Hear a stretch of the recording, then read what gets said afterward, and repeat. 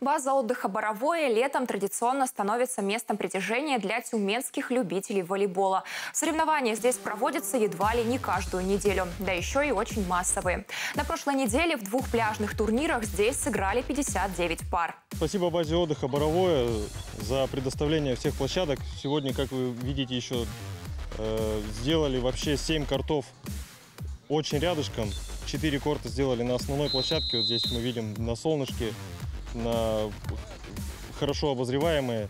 И еще три корта тоже хорошие в тенечке, в сос- в сосенках.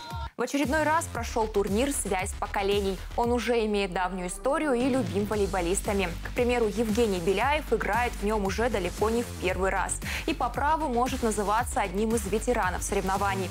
И факт того, что завоевать медали ему не удалось, его совершенно не расстраивает. молодость, задор встречаются с опытом и спокойствием. И вот этот симбиоз в итоге выдает очень хороший, качественный волейбол.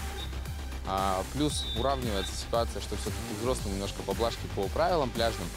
И получается очень ровно все. И молодые люди, которые горячные, иногда бывают из себя выходят здесь, глядя на старших товарищей своих, этого себе не допускают.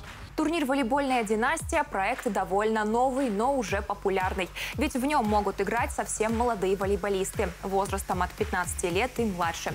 Здесь на площадку выходят семейные дуэты, как Соколовский и Зупорова. Очень тяжело играть, очень тяжело сдерживать свои эмоции, чтобы не навтыкать ребенку. Ну, пыталась сдерживаться. Не всегда получалось, конечно. Да, своего ребенка, конечно, хочется маленько подчикать. С чужим бы играла, конечно, такого бы не было. 9 июля на базе отдыха «Боровое» вновь будет многолюдно. Здесь пройдут соревнования по парковому волейболу. И это все, о чем мы хотели рассказать вам сегодня. Оставайтесь на телеканале «Тюменское время» и до встречи в эфире.